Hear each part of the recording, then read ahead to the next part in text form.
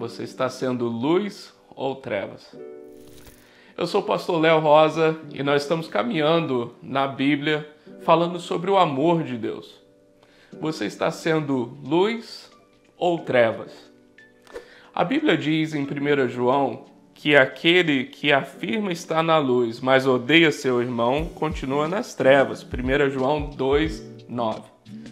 Pensando em alguns exemplos aquele seu primo que talvez pediu dinheiro emprestado, mas não te pagou, né? Aquela pessoa que, vamos dizer assim, é aquela pessoa chata que te incomoda.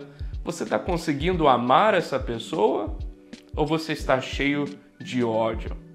Existem aqui dois extremos. Não existe um meio termo. O apóstolo está dizendo: ou vivemos nas trevas ou vivemos na luz. E vivemos nas trevas quando nós temos ódio, o nosso coração está cheio de ódio. Mas vivemos na luz quando o nosso coração está cheio de amor.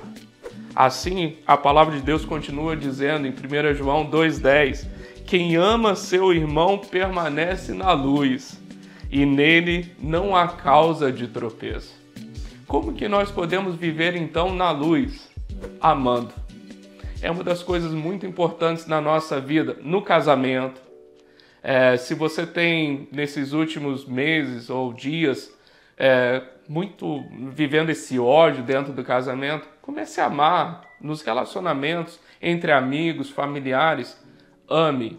Esse é um dos maiores mandamentos que Jesus deixou para a igreja, para os seus discípulos.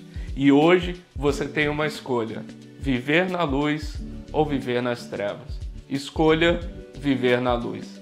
Que Deus te abençoe e se você gostou desse vídeo, comente, compartilhe para que mais pessoas possam viver na luz, assim como você está na luz.